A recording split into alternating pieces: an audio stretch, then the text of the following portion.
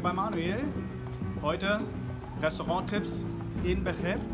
Wir sind heute im Cuatro Estaciones.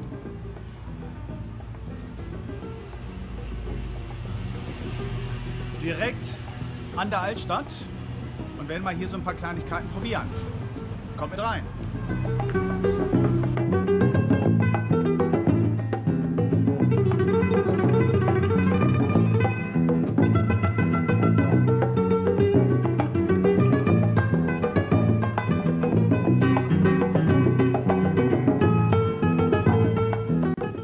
Gäste, wir sitzen jetzt hier auf der schönen Terrasse des Cuatro Estaciones und probieren die ersten Kleinigkeiten.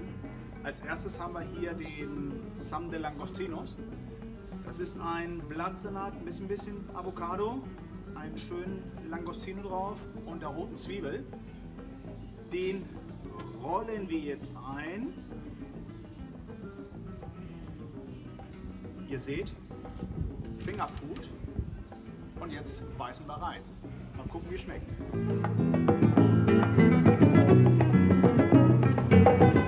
Nächste Kleinigkeit, die wir probieren werden.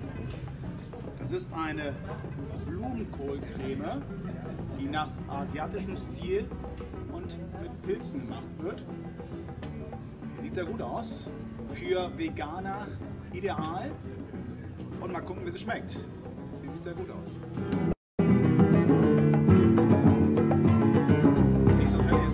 Interessant. Natürlich darf der Almadraba Thunfisch nicht fehlen.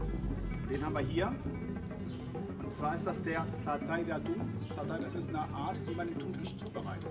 Normalerweise am Spieß und kurz angebraten.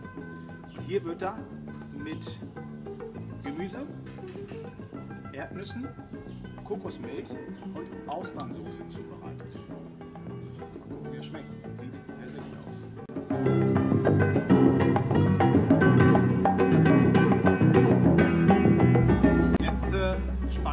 Testen werden, die wir probieren werden. Und es ist eine Paella. Ich werde häufig gefragt, wo man hier eine schöne leckere Paella essen kann. Und in der Cuatro Estaciones kann ich euch empfehlen, Andal allerdings nach andalusischer Art. Das heißt, der Fisch, der für die Paella genutzt wird, der wurde vorher in einer Tuba zubereitet und danach mit dem Reisegericht angeboten. Empfehle ich euch. Ich finde ihn super lecker. So, liebe Gäste, das Cuatro Estaciones.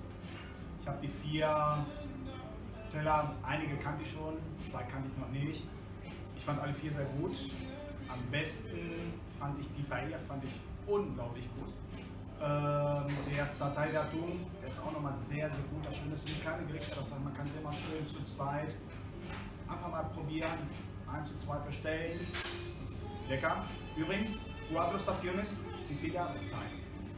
Denn hier im Cuatro Estaciones mit der Jahreszeit ändern sie auch ein bisschen die Karte die Speisekarte. Und ab und zu gibt es auch mal ein paar neue Überraschungen. Ich kann es euch empfehlen, es lohnt sich und vielleicht sehen wir uns wieder hier in Bechel. Hasta pronto, bis bald.